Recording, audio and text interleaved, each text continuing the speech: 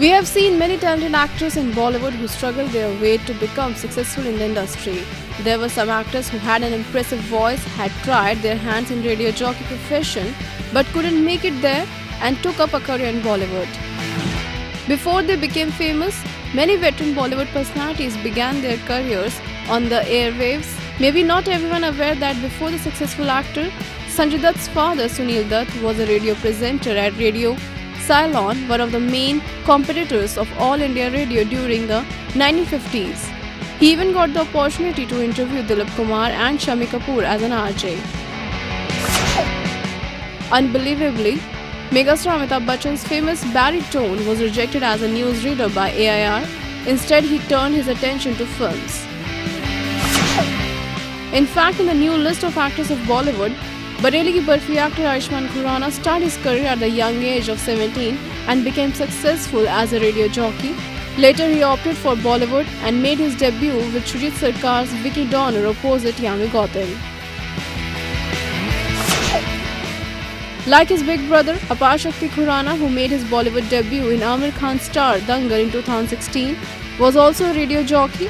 He is a man of many talents and has also played cricket for the under 19 Haryana team and was also active in theatre.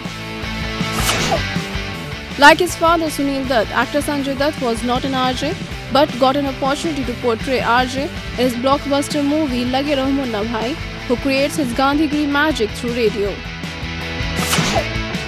Also, actress Vidya Balan, who portrayed versatile characters, also played a radio jockey in Rajkumar Hirani's Lage Raho Munna Bhai. She was even trained by a popular RJ Malishka for her role in the film. Again, Vidya donned RJ role in her next Tumhari Sulu, in which Vidya playing Sulochana, a housewife who is a regular caller at a radio station and sports an opportunity of becoming a radio jockey. This time, RJ Malishka, who trained Vidya in Raho Munna Bhai, make her Bollywood debut through this film. The famous anchor of Indian television, Manish Paul, was also a RJ he became a popular TV host and also made his debut in Bollywood as a lead role of the computer geek Mickey in Mickey Virus.